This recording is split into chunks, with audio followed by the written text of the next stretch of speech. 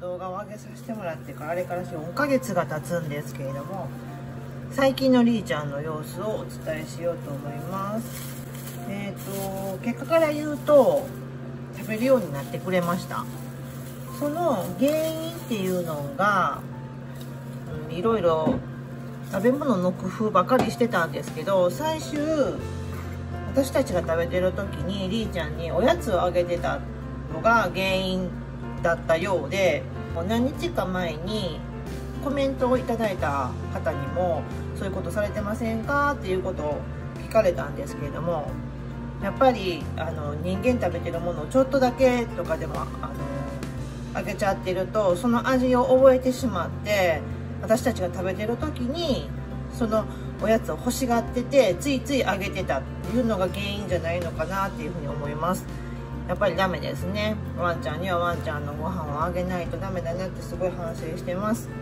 でですね前回は、えーと、プライベートブランドのお肉をあげてたんですけど今はっていうか、まあ、今日はなんですけどドギーマンさんの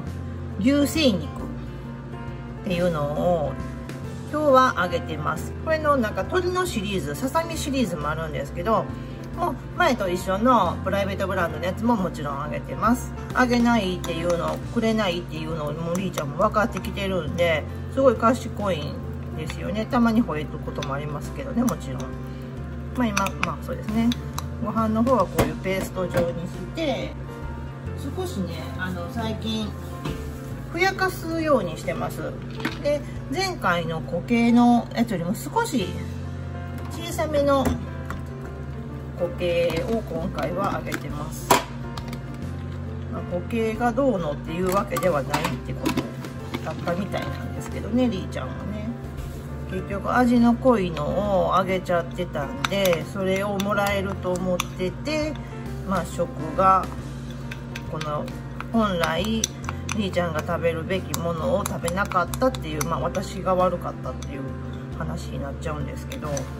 兄ちゃんごめんなさいって感じでですね。えー、お湯をですね。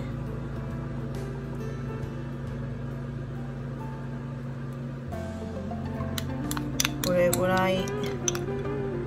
まあふふやかすっていうほどでもないんですけどちょっとまあ軽く水分も補給できて